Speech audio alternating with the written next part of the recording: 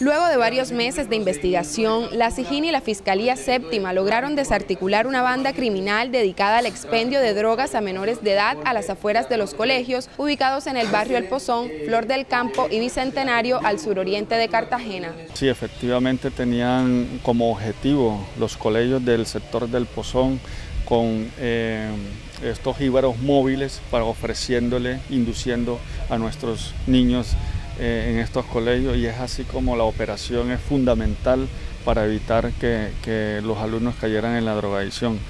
Entre los capturados se encuentra el cabecilla de la banda, alias El Chongo, y sus ayudantes, conocidos con los alias de El Venezuela, El Lucho, El Libardo, El Loco y La Jennifer. Durante el allanamiento se incautaron dos revólveres, 17 cartuchos calibre 38, 2 kilos de clorhidrato de cocaína, un kilo de marihuana y se inmovilizaron las dos motocicletas en las que se transportaban para delinquir.